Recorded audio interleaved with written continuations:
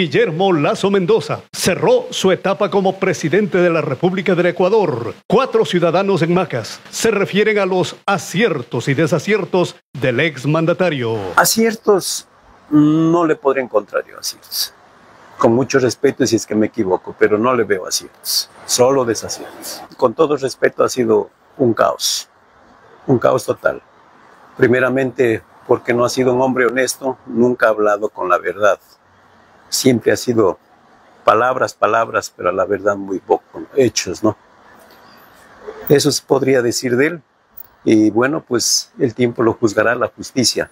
Ahora esperemos del nuevo gobierno, pues, eh, eh, más que todo busque la, sabiduría de Dios, que es lo principal, ¿no?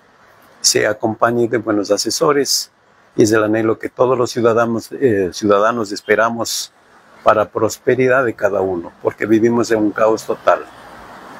Eh, en general, le digo, en lo que es en la, en la salud, en vías de comunicación, medios de educación, en fin, en todo estamos muy mal. Bueno, todos los periodos, todos los presidentes, todos los funcionarios públicos dentro de su periodo administrativo tienen sus cosas buenas y cosas que a lo mejor no lo pudieron cumplir por cada quien sabrá por sus razones, ¿no?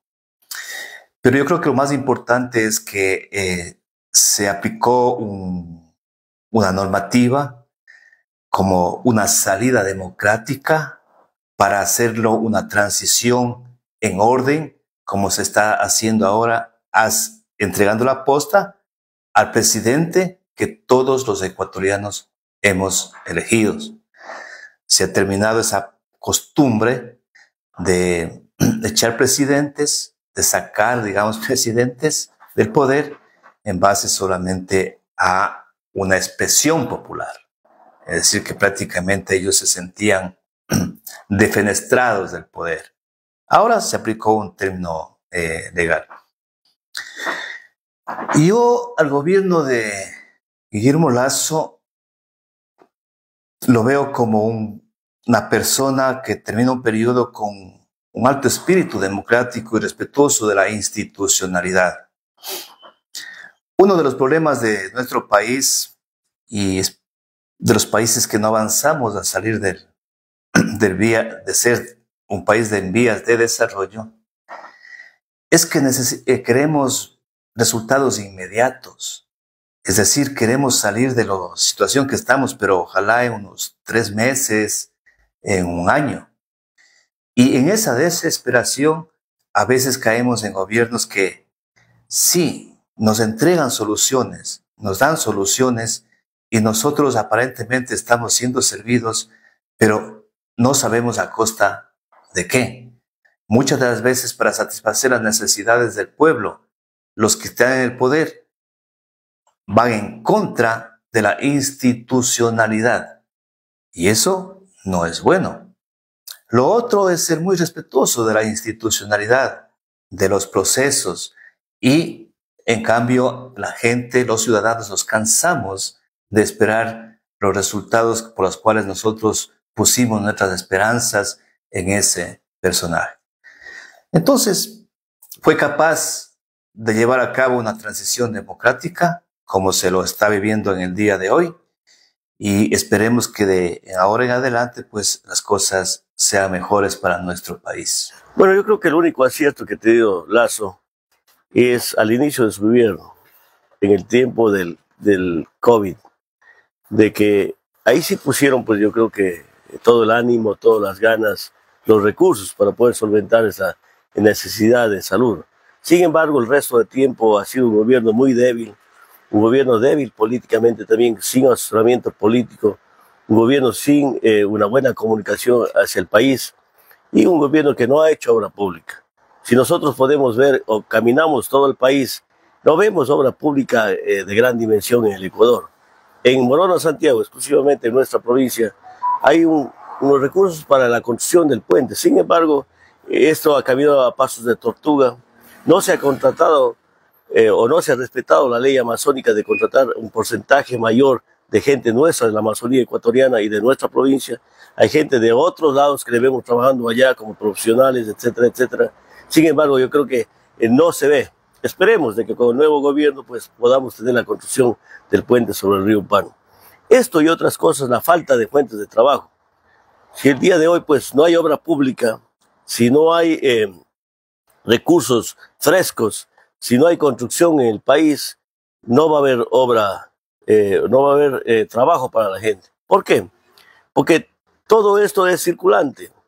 Si la gente viene a comprar en nuestros negocios, ¿no es cierto? Se va dinamizando la economía. Pero ¿con qué plata va a comprar si no hay eh, fuentes de trabajo creadas por el gobierno? Esto ha hecho, pues yo creo que debilitar la economía. Hoy en día entrega el gobierno con un déficit muy abrumador y esperemos que al menos puedan cobrar eh, los servidores públicos los, los, suelos de este mes y el próximo mes.